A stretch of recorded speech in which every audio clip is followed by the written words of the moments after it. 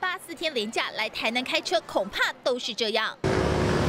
马路上每个空间都被车塞满，还有机车乱钻。国外有份最新调查说，台南市是全台湾最塞的城市，真是这样吗？塞车，塞啊会哦，会吗？你会觉得？印象中不会，平日还好，对，假日人比较多。还好吧，没有塞车啊。塞车全国第一，台南市民好惊讶。但这份由国外卫星导航公司做的排名，全世界最会塞车的城市，台南排第九，高雄市也入榜排二十名，台北市排二十四，台南竟然是台湾最塞，还点出去年最塞的路段是北门路一段、二段、民族路，在台南火车站周遭确实车流多，但台南市府质疑取样有问题。基基本上它不是一个实际的调查。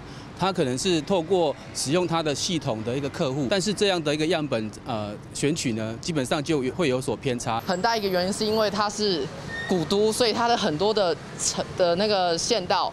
它都是旧的。古迹老城道路狭窄，但老城可不止台湾有，欧洲各国古迹更多。但像德国、捷克的旧城区就明文禁止大型车进入或限时上下车。反观台南，汽机车连游览车都挤在一起。离城区外围一点的地方，然后。